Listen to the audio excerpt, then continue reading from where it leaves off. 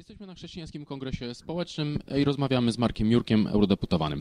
E, W ostatnim czasie papież Franciszek powiedział, że człowiek, który buduje mury, nie może być chrześcijaninem. Słowa te wypowiedział w kontekście zbliżających się wyborów prezydenckich w USA, w których to jeden z czołowych kandydatów, pan Donald Trump, w swym programie ma postulat budowy muru na granicy amerykańsko-meksykańskiej. Jak pan odnosi się do tego typu pomysłu? Społeczeństwo chrześcijańskie nie może nikogo wykluczać, ale oczywiście imigracja w dzisiejszych czasach jest bardzo poważnym problemem i na pewno należy ją regulować e, tak, jak mówi e, etyka. E, To znaczy, to jest obowiązek krajów bogatych, czyli Polska w ogóle powinna pamiętać, że jako kraj emigracyjny, z którego ludzie wyjeżdżają, my nie mamy tych obowiązków, co bogate narody. No i druga bardzo ważna zasada, czego Trump nie rozumie, Meksykanie to jest e, naród cywilizacji e, zachodniej. E, powinniśmy być gotowi przyjmować tych, którzy przyjeżdżają z szacunkiem i z uznaniem dla naszej kultury. I dlatego jest radykalna różnica między imigracją, nie wiem, Polaków, Litwinów, Ukraińców e, w Irlandii, a imigracją, a masową imigracją islamską w krajach zachodnich, która zupełnie zmienia strukturę świata zachodniego.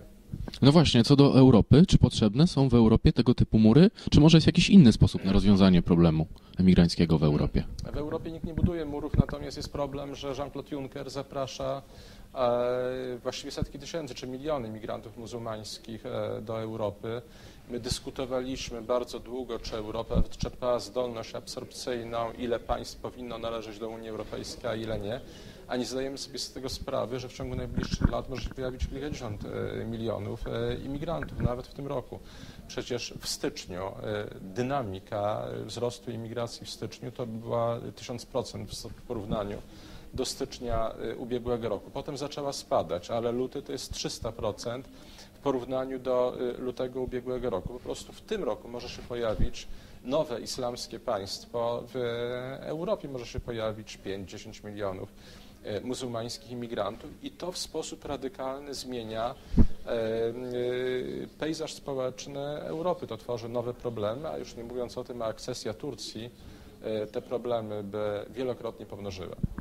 E, Właśnie wybory w, w Niemczech pokazały wyraźne poparcie dla alternatywy dla Niemiec. To jest eurosceptyczna e, partia niemiecka. E, Czy tak znaczny wzrost poparcia dla alternatywy dla Niemiec, czy też dla francuskiego Frontu Narodowego jest jakoś komentowany w kuluarach Parlamentu Europejskiego? A Przede wszystkim widać, że Europa reaguje na imigrację, bo niewątpliwie i e, wzrost poparcia dla partii Marine Le Pen e, i e, wzrost poparcia dla alternatywy dla Niemiec to jest po prostu reakcja na imigrację. To nie chodzi o to, czy się zgadzamy z tymi partiami, czy nie. Na przykład jeżeli chodzi o alternatywę dla Niemiec, mamy zdecydowanie odmienne poglądy geopolityczne, ponieważ Gauland, ich główny e, teoretyk e, międzynarodowy właściwie uważa, że Europę należy oprzeć na współpracy niemiecko-rosyjskiej. Nam to się kojarzy jak najgorzej. Natomiast jednocześnie awans tych partii to jest po prostu reakcja na to, że obecnie rządy nie bronią społeczeństw e, zachodnich przed rosnącą imigracją i skutkami. A te skutki widzimy na każdym kroku. Pozwolę sobie przejść teraz, że tak powiem, na polskie podwórko. E, Jakie będą skutki projektu 500 Plus dla finansów publicznych? Jak pan sądzi, jak przełoży się jego wprowadzenie na demografię?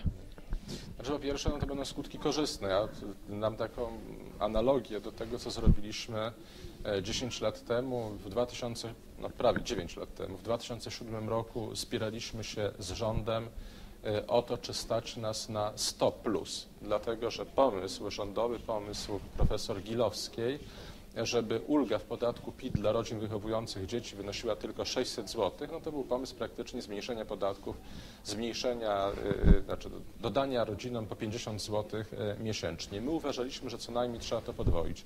I co się potem okazało? Że zrobiliśmy rzecz nie tylko dobrą z punktu widzenia mikroekonomii rodzinnej, nie tylko dobrą z punktu widzenia małej ekonomii polskich rodzin, ale kiedy przyszedł e, kryzys, kryzys finansowy z e, południa, okazało się, że zrobiliśmy rzecz, która w sposób bardzo dobry wspomaga polską gospodarkę.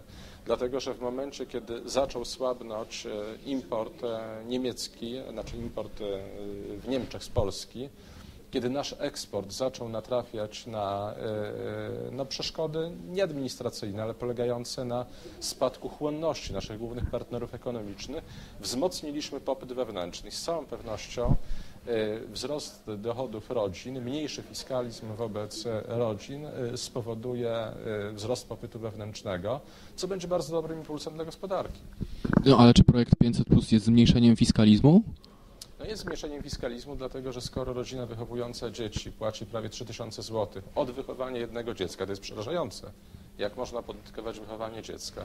Ale jeżeli weźmiemy pod uwagę, że yy, no, koszty utrzymania dziecka są owatowane, no przecież od wszystkiego, co kupujemy dla dzieci, płacimy yy, VAT no to oczywiście, że y, wprowadzenie mechanizmu wyrównującego jest koniecznym elementem antyfiskalnym. VAT nie spadł z nieba. VAT istnieje pół wieku. Podatki pośrednie w tej skali, podatki od konsumpcji, czyli od życia. Konsumpcja to życie. No. Podatki od życia istnieją pół wieku w Europie. No ich ogromną zaletą, ja mówię zaletą w cudzysłowie, y, podawaną przez ich zwolenników jest to, że się po prostu łatwo ściąga, y, że ułatwiają przymus fiskalny.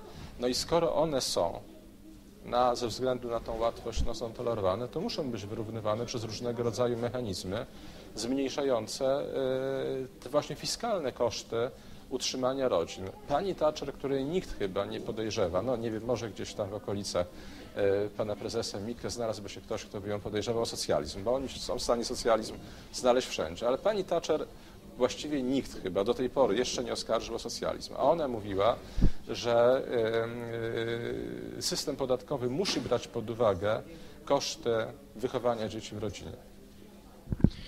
Jaki ma Pan pogląd na temat ostatnich wydarzeń dotyczących Trybunału Konstytucyjnego oraz opinii Komisji Weneckiej? To są dwie różne sprawy. Jeżeli chodzi o Trybunał Konstytucyjny, reakcja na naruszenie prawa w czerwcu przez Platformę Obywatelską była konieczna i dlatego Prawica Rzeczypospolitej poparła y, i e, stwierdzenie nieważności tamtego wyboru i powtórzenie wyborów, a także wybór pięciu sędziów w sytuacji, kiedy opozycja odmawiała y, jakiejkolwiek współpracy przy wyborze sędziów. My apelowaliśmy. Ja już na początku grudnia, czyli cztery miesiące temu, apelowałem, żeby opozycja szukała jakiegoś kompromisu, na przykład, żeby poprosiła o niezgłaszanie kandydatów na trzy miejsca, na które oni ponowią tych kandydatów nieprawidłowo wybranych, e, na, e, nieprawidłowo wybranych w czerwcu. Ale opozycja powiedziała nie.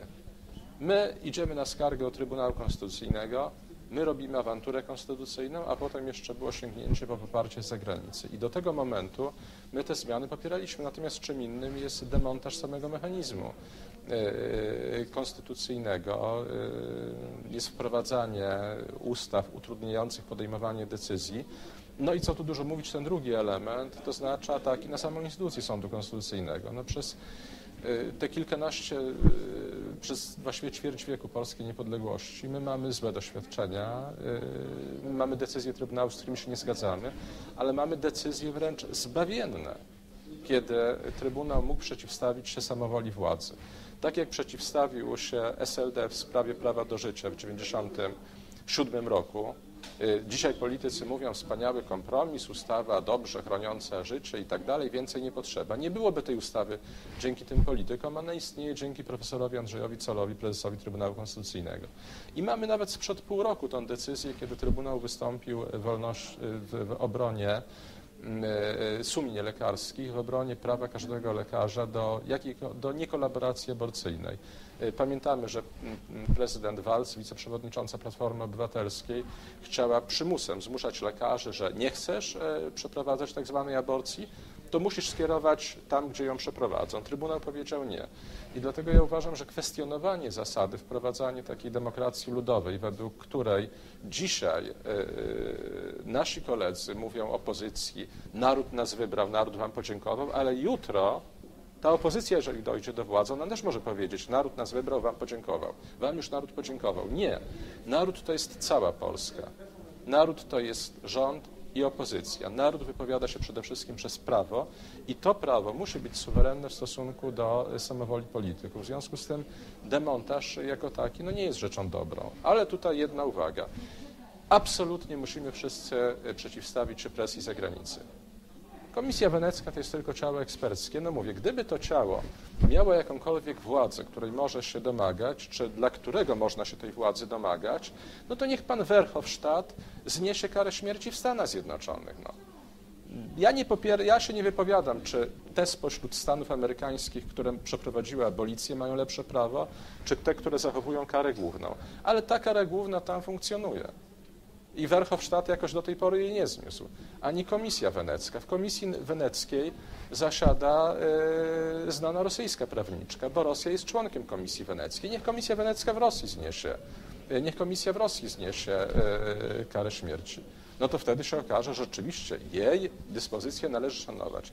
Ale nie może być tak, że instrumentów międzynarodowych używa się przeciwko krajom słabym. Nie może być poniżania ani Polski, ani innych narodów Europy Środkowej. Dzisiaj, e, w czasie posiedzenia naszego dzisiejszego kongresu, Ferenc Kalmar, wice, e, wiceminister e, spraw zagranicznych Węgier, mówił o tym, jak przyjechał senator z Francji, bo senat francuski chciał zbadać, jak wyglądają prawa człowieka na Węgrzech i orzekł, że hymn Boże chroń Węgrów narusza prawa człowieka. Czemu nie pojechał do Anglii powiedzieć, że God Save the Queen narusza prawa człowieka? No. To jest naprawdę, no nie może być tak, że i tutaj niestety, niezależnie od tego, ja jestem zwolennikiem zasady sądu konstytucyjnego. Moje poglądy są bardzo bliskie Kazimierza Ujazdowskiego. Ale nie może być tak, że na krajach Europy Środkowej te silne państwa, czy dobrze ustawione państwa starej Unii się wyżywają i że przez zagranicę próbuje się rozstrzygać nasze sprawy. No niestety, ci, którzy prowadzą strategię na czele z panem przewodniczącym e, Schetyną e, i e, tą skropką nowoczesną, ci, którzy prowadzą politykę ulica i zagranica, no muszą napotkać na naszą zdecydowaną solidarność. My możemy dyskutować na temat zasady sądu konstytucyjnego, ale w gronie tych, którzy chcą, żeby o sprawach polskich decydowała dyskusja Polaków, a nie dyktat zagranicy. No właśnie w kontekście kropki nowoczesnej, te manifestacje Komitetu Obrony Demokracji odbywają się dość regularnie, już teraz na terenie całego kraju. Jaki jest według Pana cel organizatorów tych demonstracji? Co chcą osiągnąć? No, przede wszystkim chcą y, zdelegitymizować y, obecne rządy, no, a coraz częściej widać, że po prostu chcą osiągnąć że mają nadzieję, że w ten sposób zmobilizują poparcie y, zagranicy. No, jak było powstanie styczniowe, to Napoleon III powiedział księciu Władysławowi Czartoryskiemu Duche, trwajcie. Ja mam wrażenie, że im ktoś powiedział trwajcie. No i oni tak trwają i czekają, że będzie jakaś interwencja i tak dalej. Mówię, odpowiedzią naszą na presję zagranicy musi być zdecydowane nie. A potem, jak już załatwimy tą presję zagranicy, to musimy, musimy zagwarantować to, żeby Polska na forum europejskim była orędownikiem suwerenności narodów, e, szacunku dla e, zasad e, chrześcijańskich, przeciwstawienia się absurdalnym pomysłom Unii, bo nie chodzi tylko, żebyśmy my mówili, nie będzie presji migracyjnej na Polskę. Dopóki pan Juncker będzie zapraszał dziesiątki milionów muzułmanów do Europy, no to będzie problem i będzie ta presja, bo problem będzie bo problem sam będzie. Więc my musimy w Europie prowadzić spor o, o sprawy poważne, a nie dawać preteksty do sporów o rzeczy błahe, chociaż może dobrze elektryzujące opinię publiczną.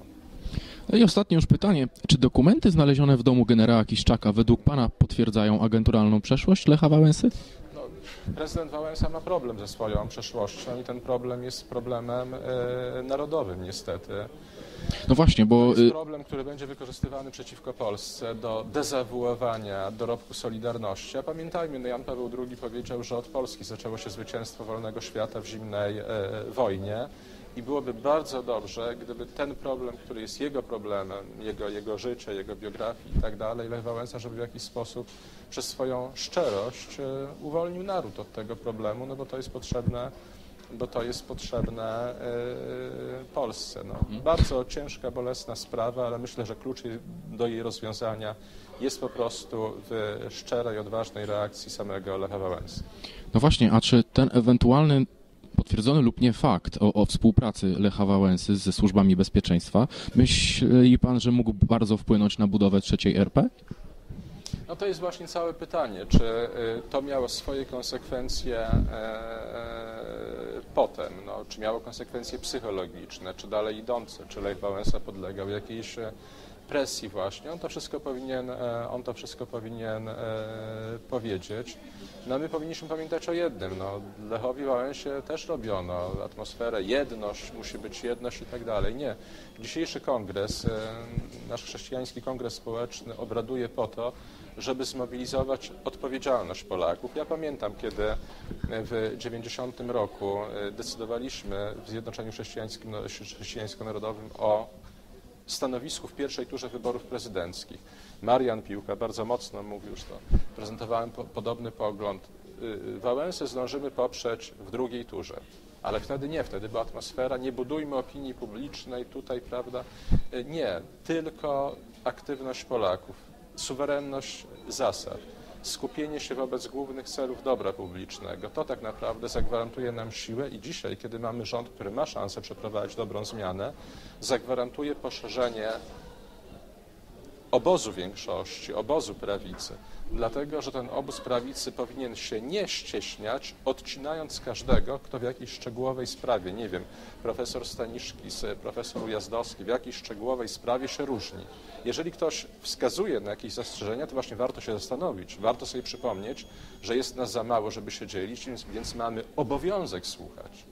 Mamy obowiązek słuchać siebie nawzajem i tylko ta metoda poszerzania prawicy, ta ewangeliczna metoda, kto nie przeciwko nam, e, ten z nami, e, tylko to jest droga tak naprawdę do przeprowadzenia w Polsce skutecznej, dobrej zmiany. Natomiast no, z Ewangelii też wiemy, że kto twierdzi, kto nie zbiera ze mną, e, ten dzieli, no to tak mógł powiedzieć o sobie tylko jeden człowiek, który był nie tylko człowiekiem. I tego właściwie żaden człowiek sobie nie powinien uzurpować. Dziękuję panu bardzo za rozmowę.